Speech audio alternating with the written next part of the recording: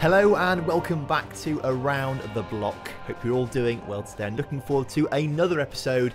It's one of those days, it's a hat day today because uh, just lockdown haircut needed definitely and I don't trust anyone else to, to do it with some the dog clippers at home. So the hat's on today because just my hair's getting out of control. Controversially, it's on forwards this time. Usually it's on backwards because I just don't think I look a bit stupid. I feel with hats normally. I feel like if it's backwards, it looks slightly cooler on me hats. But I, I, I just don't suit hats, as you can probably tell. Either way, we've got a really big episode coming up for you guys today. We've got Cukariki in the Serbian Cup semi-final. We've then got Vojvodina, who are second in the table. And then we've got the Eternal Derby, the Belgrade Derby against Red Star, who are third in the table. So three huge games coming up for you. Obviously, it's only been a couple days since you guys were last here for that 2-0 win over Proleter. And we've sort of had a bit of an introduction to the club now. And we kind of know what's going on here at Partizan. So really this episode is just about playing these games and getting to know some of these players a little bit better, I must say. So we're going to dive straight into the Serbian Cup. Um, so the semi-finals is Cukariki versus us and then a team called Radniki against Javor. And as far as I'm aware, we must be the favourites to win this cup. We've only won it twice since this whole save file started, including once last season. Rad have been particularly unlucky, coming runners-up three times there. But in real life, Partizan have won it for the past four seasons in a row, so well done to them. Now, because we've got such a small squad and not an awful lot of depth outside of the first team, the lineup is almost the exact same as it was as you saw last episode. Two changes have been made. We've brought in this guy, Milo Kovacevic at the right back position because our normal right back has got himself injured. He's out for two to four weeks. So this guy is going to be filling in in for today's episode. He's not very good. Uh, I assume he'll be leaving the club. Well, I'm going to try and get him to leave the club very soon because he's not particularly good at all. I can't really see him reaching that three and a half star potential.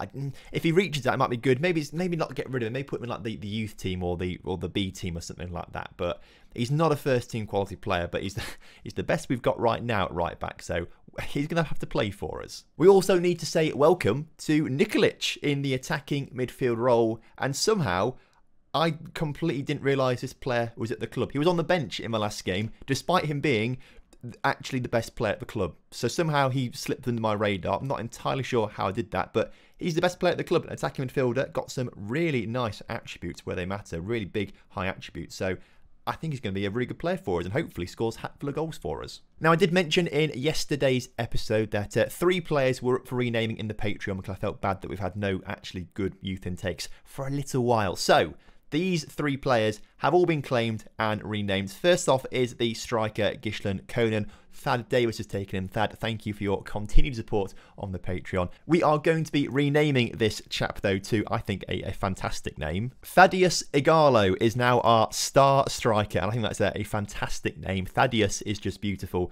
So welcome, Thaddeus, to the club, and of course, thank you, Thad. Starting at left back is this chap called Saba Marcus, but will no longer be called Saba Marcus, because Harry, thank you very much for your continued support on the Patreon as well. We're going to be renaming you to what I think is a, is a really fantastic name. Harej Bunts. Oh, I've messed up there, haven't I?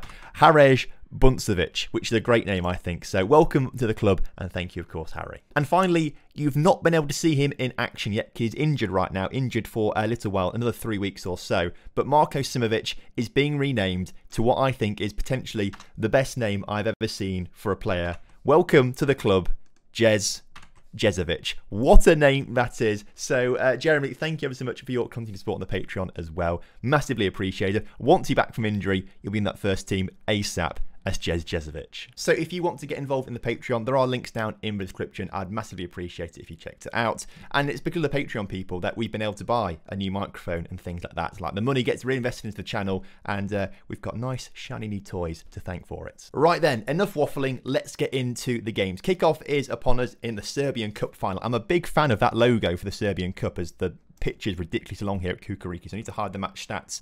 Look at that logo for the... Wow, that is a can we see it any bigger somehow? Profile? Can we, I want to see if it's bigger. And I, just, oh, ah, I can't quite. It just looks like a, a, a dragon or something. I think it might be a lion on a football with some gold around it. I think that's what it is actually. But it looks like a cool logo either way. Free kick for Cukariki though. The first real test we've had to face, and that one goes over the bar. It's a very. Not much going on in this first half at all. And actually, Cukariki are dominating us, playing a very similar, for in fact, the exact same formation to us pretty much. Almost exactly. That's a little worrying, actually. Maybe we need to change things up a little bit as a corner comes in for Cukariki, cleared, headed back in the middle. Good save from Schwab there. Can we launch a bit of a counter attack here and score a goal just before half time against the run of play as uh, names that I can't pronounce? I have to give some nicknames to some of these players, I think, once the uh, transfer window's finished or something like that. Because I assume we'll get rid of a lot of these players, but I do want to give some of the harder names nicknames, for example. But we've got uh, a great ball forward to Thaddeus Ighalo. Come on, Thaddeus. Gets around the... Oh, nearly gets around the keeper. Good shot. Just saved. Either way, uh, aggressively at half-time. Far from pleased from what I've just seen. We need to step things up a little bit in this second half. Let's in fact go to attacking, actually. Let's do that. I'm not quite sure we weren't on attacking before, if I'm honest with you. We need to do that. But uh, we are coming forward right now. Asimovic into the guy that I can't pronounce. Shoots. And I've just told you he's not a very good right back or a good left back but he's just scored an absolute peach of a goal there. He's listening out, isn't he? He knows that he's going to be relegated down to the B team at some point in the near future. So he's trying to stake his claim to be the number one right back, even though he's never going to be number one right back. It's great control. It's a great shot. It's a fantastic goal, really. Oh, I think we've got a bit of a meme on our hands already. Milo Milo Kovic. Oh, we'll ignore the J in the middle of that. Just Milo Kovic. That's what we'll call him. Either way, we are winning this semi-final now, which is absolutely fantastic. Let's drop down to a bit more of a positive stance instead and look to make some changes. Who's not playing well? Who's looking tired? The guy that we cannot pronounce, even his first name, Milutin. Actually, that's not too hard to say, is it? But we're going to take him off anyway uh, in the attacking midfield, right-hand side, and we'll bring on Boris Kristich on. We'll, we'll, give him a go either way. I think we introduced him to you last episode. Of course he is. He's the 12-year-old who just looks far too young to be playing football. Either way, the attacking midfield on the left-hand side isn't playing very well, so we'll bring on Borja Mayoral as well. Uh, again, he's another striker who's a bit old, not so good, on 25 grand a week. We need to sell him ASAP because that is far too much money for how good he is. So we need to sell him, but God, this team is a bit of a mess in some areas. Like, obviously, it's good because it's it's top of the table and we oh, almost got ourselves a second goal there. We've almost got ourselves to the cup final. So, obviously, this is a very, very good team for Serbia. But in my opinion, I'm looking around this team. I guess it's got out. It's just out. It's just there's no depth. There's no depth to a squad outside the first eleven. There's not really any depth. So I'm not quite sure how they managed to do it and avoid injuries and uh, bits of bad form. But we need to turn this team around, in my opinion. We can make this team so much better, in my opinion, I think. But with less than 10 minutes to go in this Cup semi final, I'm feeling pretty confident as a free kick floated into the middle is put in the back of the neck by Tristich, uh, but it is disallowed for offside there, so you hate to see that. Throw in four us, though, resulting from that somehow, as we get the ball in the middle, cleared. And is it going to be one final counter attack for Cukariki? Are they going to score right at the end of the game to send us to extra time or a replay. I'm not quite sure how it works. Oh, the ball just put wide there. That was very unlucky for Cukariki. But as I say, four minutes added time to go, and I think we've got ourselves into a cup final, barely having to do anything. So Partizan win the Serbian Cup semi-final. You love to see it. £38,000 for winning that. And I must say, all right, we've played two games so far. We've got seven league games to go and a cup final. So that's 10 games in total. 10 games' time, we could have two trophies in our trophy cabinet. I feel like we've got very, very lucky here at, uh, Partizan because we can win those two trophies and that'll just boost our reputation massively and we'll get all the credit for it. Anyway, Vojvodina and Red Star coming up. And just to remind you of the Serbian Super League table, every team plays each other twice, then the league splits in half for like the, the championship group and the relegation group. And right now, we're three points clear of Vojvodina in second and seven points clear of Red Star in third place and 12 points clear of Cukariki. So I can't really see us dropping lower than second, but watch us do that now. But if we beat Vojvodina today and Red Star, the title's surely going to be ours, and that would just be beautiful. I must say, Red Star, it looks like they've fallen away in recent years, and I can't, I can't believe it as well. They rejected us. They didn't even offer us a job interview. Yet Partizan weren't actually that keen. If we look back to the interviews, they weren't very keen on giving us an interview because they didn't think I'd make the most of set pieces. They seemed to love set pieces. They were like, make the most of set pieces. And that's actually in our club philosophy, isn't it? Uh, if we look here, it's make the most of set pieces. I'm not entirely sure how we do that, but they, they didn't think I did that. And they were very unsure if they should offer me an interview because of that. But they've given me the job. Obviously, I, I proved to them that I, I could make the most of set pieces. That seems to be their biggest gripe for some reason. Not entirely sure why. But uh, but yeah, obviously Red Star turned us down. Partizan are taking us. And I think Red Star are going to rue that decision. So here comes the game against Vojvodina. If I'm honest with you, I don't want to change the lineup at all because what we've got out there is the best lineup in terms of what from what I've seen from from star ratings and looking at player player attributes and stuff like that. It's the best lineup, so we're going to stick with it. But again, it's worked well so far. We've not conceded any goals so far as well in our first two games, so I don't really see any reason for it to change. So let's go for it. Right then, kickoff is upon us. Vojvodina, you're going down. All right, you're going down, lad. They're playing a fairly defensive formation as well as Nikolic puts it in the area. And oh, we've just put that one over the bar. Let's get the match stats back up now because this pitch is actually normal size at Partizan, which is good to see.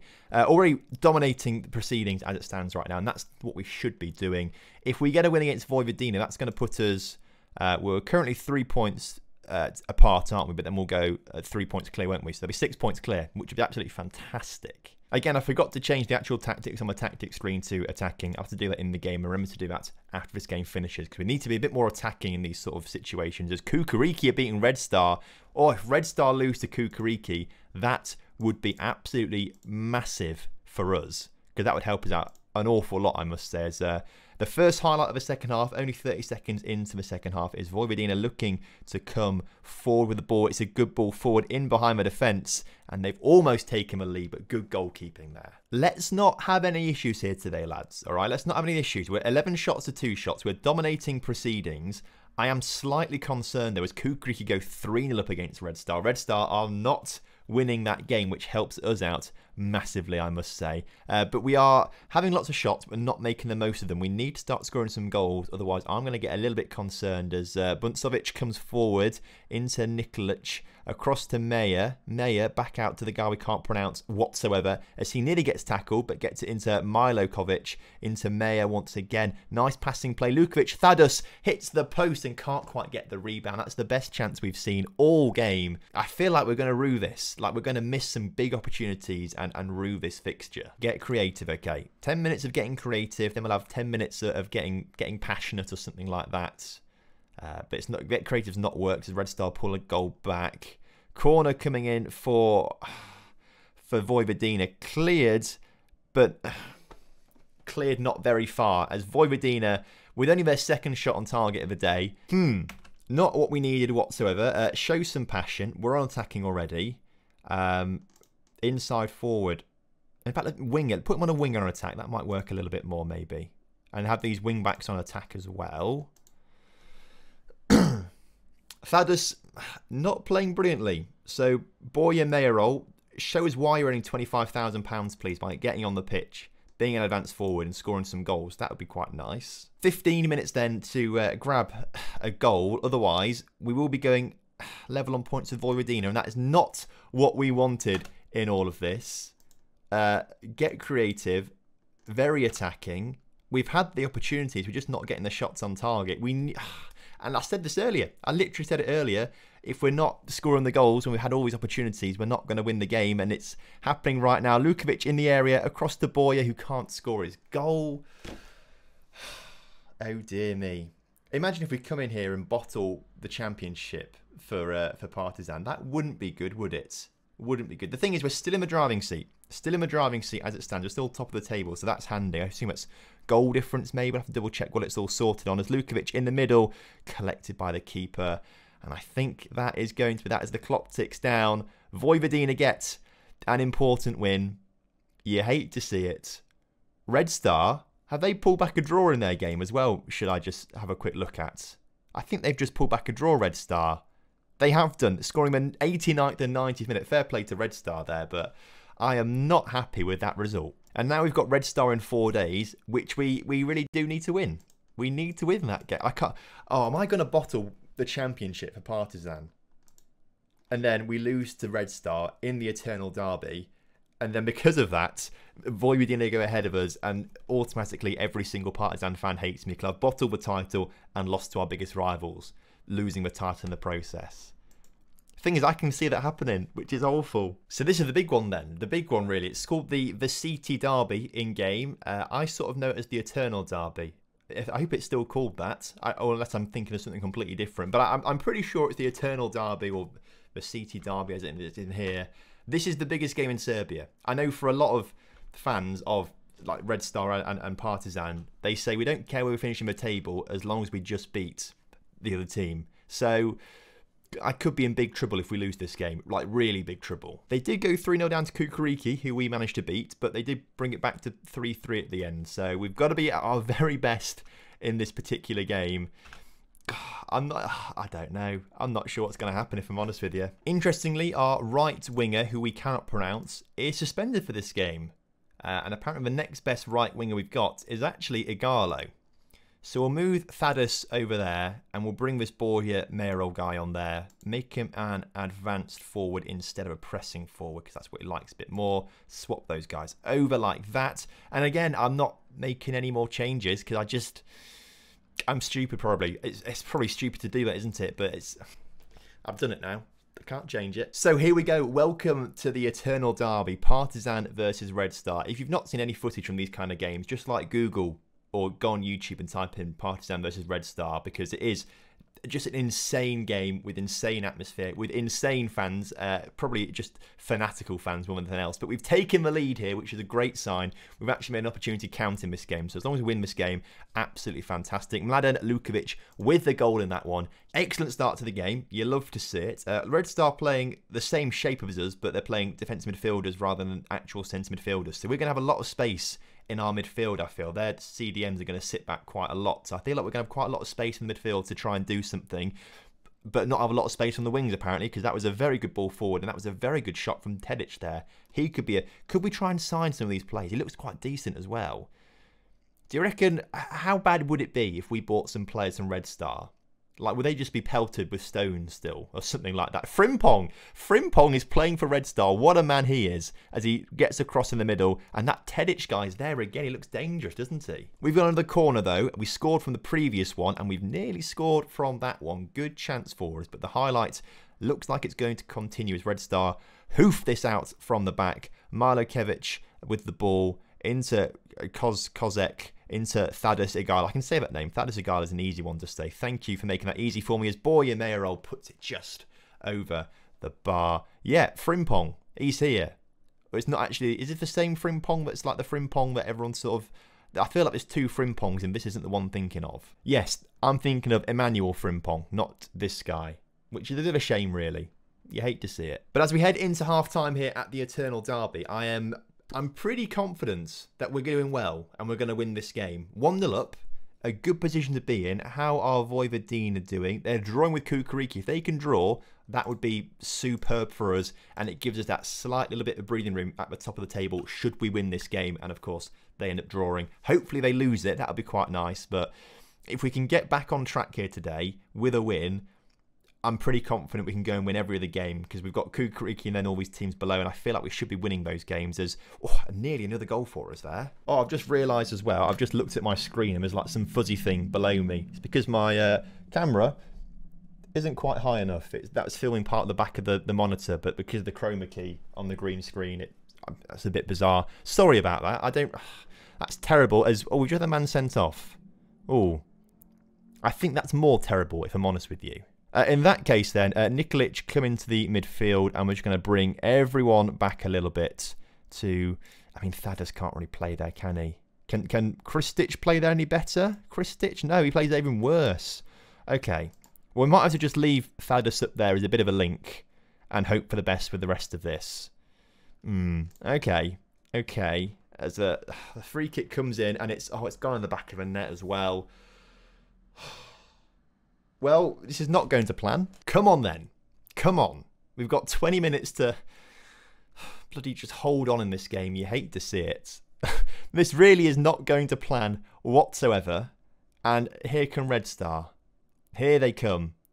The eternal rivals in the eternal derby. We're a man down. And here comes Frimpong in the middle, cleared, but not very far as Tedic with another shot. They still have coming forward. It's a penalty now. Oh, you've got to be joking me. Got to be joking me.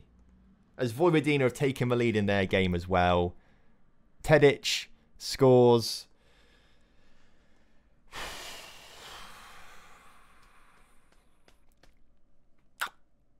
Uh, oh, for God's sake. This is not good. This is far from ideal. oh no. Oh no. Oh no. I don't know what to say other than just oh no at this stage. This is just. this has been just an awful week of playing Football Manager. An awful week of playing Football Manager. Sacked from. Uh, from sacked from CSKA Moscow. In, in, the Arsenal save on stream, we uh, we lose 5 0 to Wolves, 3 1 to Brighton, but can beat Bayern Munich 4 1 for some bizarre reason. Uh, and this time, we've we've lost two games that we had to win, and now we, we're bottling bottling the title. Luckily, Vojvodina, Cukariki equalised in the 80th minute, 89th minute. So only one point behind Vojvodina. Oh, we need them to slip. Red Star, you, please do us a favour and win that game. So I'll be honest with you, uh, not great, not great today. Uh, at least we are in a cup final though, which is good. Um, so next episode, we'll play that cup final, but we'll probably have a bit of a run in on these. I'm not entirely sure what we're going to do with these games yet, but uh, we'll do something with them because. Oh my god, we're bottling the league, aren't we? I can't believe it. Well, thank you very much for uh, tuning in for this one. it's not quite what we wanted today at all. Um, but there we go. My, my complaints about the squad have been. It's not my fault. It's the, the entire squad's fault. My complaints about the squad have been entirely justified because I said we've not got no depth in the squad. The squad's not good enough. There's no quality outside of the first 11. And it's been shown today as we've. We've lost. Anyway, uh, join tomorrow for hopefully a bit of redemption, winning the cup, winning the league somehow. Uh, but a difficult journey ahead. But either way, thank you so much for watching today's video. I hope you guys have enjoyed it. Uh, if you have done, drop a like in the video, subscribe to the channel if you're new around here, and I'll see you next time. Have a good one. Goodbye.